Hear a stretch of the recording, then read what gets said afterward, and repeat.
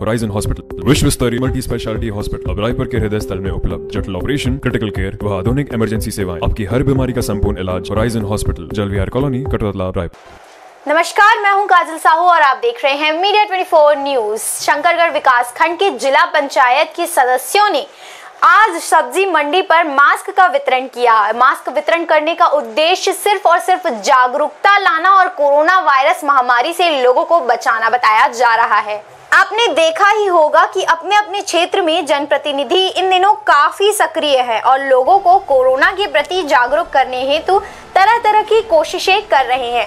शंकरगढ़ में जिला पंचायत सदस्य विजेता तिर्की ने लोगों तक सब्ज़ी मुहैया कराने वाले किसानों के बीच जाकर मास्क का वितरण किया है।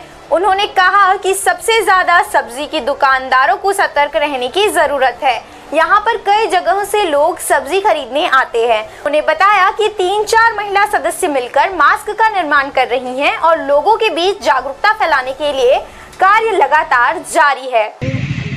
मार्केट में आए हैं मास्क वितरण करने के लिए। हम लोग स्वयं महिलाओं का ग्रुप बना के हम लोग स्वयं ने मास्क बनाया हुआ है और हम गाँव में जो बाज़ार में जो जितने भी व्यक्ति हैं, उनको जागरूक करने के लिए ये जो आज हमारे देश में, पूरे देश में जो महामारी, कोरोना वायरस जो चल रहा है, उसकी, उसका जानकारी देने के विषय में ही हम लोग पूरा मास्क वितरण कर रहे हैं और जागरूक कर रहे हैं लोगों को। उन लोगों ने एक हज़ार मास्क का निर्माण कर लिया है और हम उसका वितरण करने के पश्चात और मास्क का निर्माण करेंगे।